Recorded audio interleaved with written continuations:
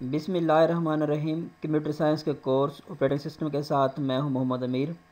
और आज इस सीरीज़ के लेक्चर नंबर नाइन में डिस्कस करने जा रहे हैं first come first serve scheduling algorithm. आज के टॉपिक्स के जो कंटेंट्स हैं, उसमें सबसे पहले हम लोग इंट्रोडक्शन देखेंगे, फ़र्स्ट कम फ़र्स्ट सर्व का, और उसके बाद फिर एग्ज़ाम्पल देखेंगे फ़र्स्ट कम फ़र्स्ट सर्व की।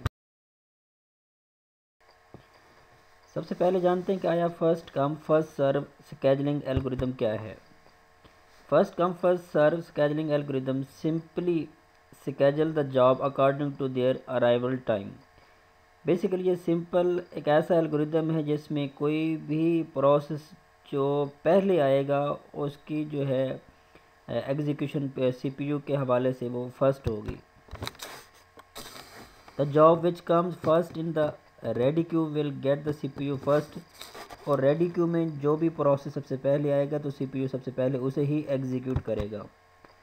The lesser the arrival time of the job the sooner will the job get the CPU इसका मतलब ये है कि जो प्रोसेस जिसका अराइवल टाइम सबसे कम होगा, वो सबसे पहले एग्जीक्यूट होगा। First come, first serve scheduling may cause the problem of starvation. If the worst time of the first process is the longest among all the jobs. अगर जो रेडी क्यू में process wait कर रहे हैं, उनमें से पहला प्रोसेस जिसका जो बस टाइम है मतलब एग्जीक्यूशन टाइम है, वो ज़्यादा है तो मे बी स्टारवेशन हो सकती है। स्टारवेशन एक ऐसी सिचुएशन है, जिसमें जो रेडी क्यू में रिमेनिंग प्रोसेस है, वो काफ़ी देर तक वेट करते हैं तो इस सिचुएशन को बेसिकली स्टारवेशन कहते हैं, और इसका रिज़ल्ट क्या निकलता है कि वो प्रोसेस सस्पेंड या फिर ब्लॉक कर दिए जाते हैं, जो कि काफ़ी देर वेट कर रहे होते हैं। अब इसके एडवांटेजेस देखें कि फ़र्स्ट कम फ़र्स्ट सर्व के क्या हैं कि सिंपल है इजी टू एग्जीक्यूट है फ़र्स्ट कम फ़र्स्ट सर्व जो प्रोसेस सबसे पहले आएगा, उसको ही सबसे पहले एग्जीक्यूट किया जाएगा ताहम इसके कुछ डिसएडवांटेजेस भी हैं the scheduling method is non-preemptive. The process will run to the completion.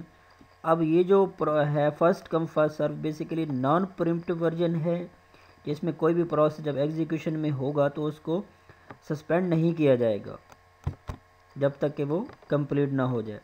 Due to non preemptive nature of the algorithm the problem of starvation में अकर अब इस सिचुएशन में तो स्टारवेशन अकर हो सकती है, क्योंकि रिमेनिंग जो प्रोसेस रेडी क्यू में है, वो काफ़ी देर वेट कर सकते हैं तो वो बेसिकली स्टारवेशन में चले जाएँगे। और जिसका रिज़ल्ट क्या होगा, वो प्रोसेस ब्लॉक या फिर सस्पेंड कर दिए जाएँगे। Although it is easy to implement, but is, it is poor in performance since the average waiting time is higher as compared to the other scheduling algorithm. ताहम इसमें नॉन प्रिम्प्टिव होने की वजह से इसका जो एवरेज वेटिंग टाइम है वो ज़्यादा है तो इसलिए इस सिस्टम की परफॉर्मेंस वो इंक्रीज़ नहीं कर सकता तो ये इसकी परफॉर्मेंस बेसिकली क्या है? पोर है।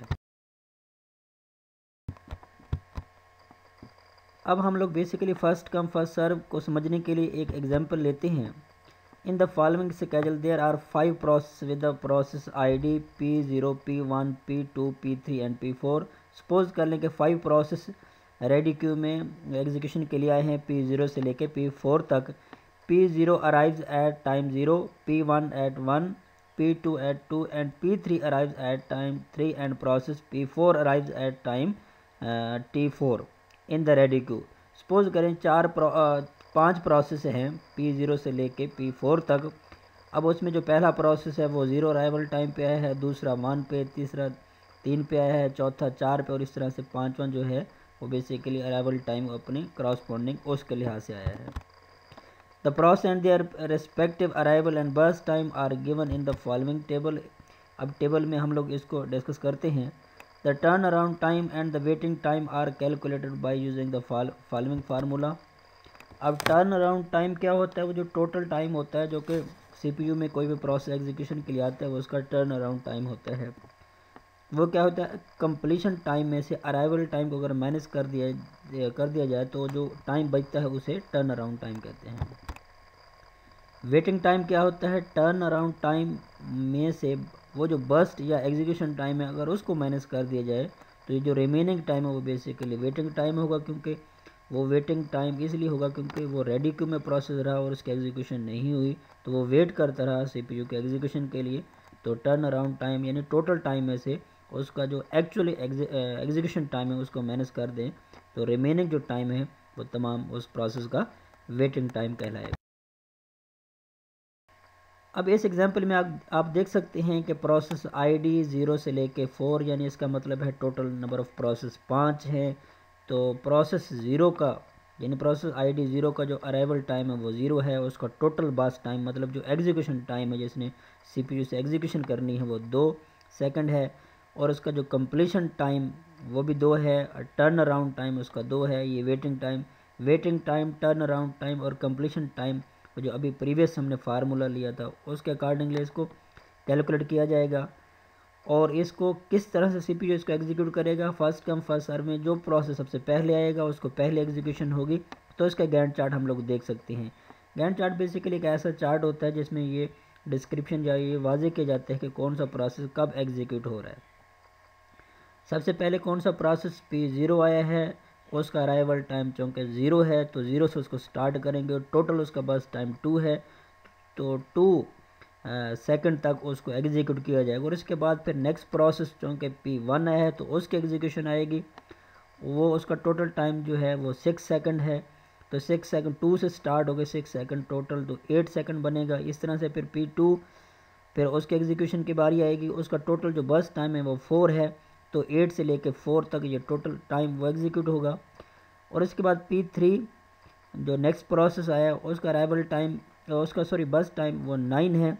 तो ट्वेल्व से लेकर नाइन तक वो टोटल एग्जीक्यूट होगा तो ट्वेंटी वन सेकेंड तक वो एग्जीक्यूट होगा। और इसके बाद लास्ट प्रोसेस पी फोर है। क्योंकि इसका बस टाइम ट्वेल्व है तो ये ट्वेंटी वन से लेके ऑनवर्ड ट्वेल्व सेकंड इसकी एग्जीक्यूशन होगी तो थर्टी थ्री तक इसकी टोटल एग्जीक्यूशन एक होगी।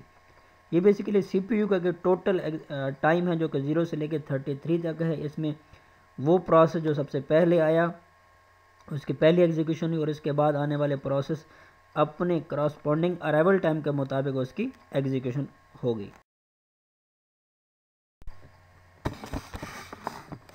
The average waiting time is determined by summing the respective waiting time of all the process and divided the sum by the total number of process अब हम लोग अगर एवरेज वेटिंग टाइम निकालें तो total number तो total जो execution time है, उसको टोटल नंबर ऑफ़ प्रोसेस पे डिवाइड कर देंगे तो हमारा एवरेज वेटिंग टाइम आ जाएगा। अब टोटल जो एग्जीक्यूशन टाइम है वो थर्टी थ्री है उसको नंबर ऑफ़ प्रोसेस चूँकि फाइव है उस पर डिवाइड करेंगे तो जो हमारा एवरेज वेटिंग टाइम वो आ, वो कैलकुलेट हो जाएगा। उम्मीद करता हूँ आज का लेक्चर आपको समझ आया होगा। मिलते हैं नेक्स्ट वीडियो में तब तक के लिए अल्लाह हाफिज़।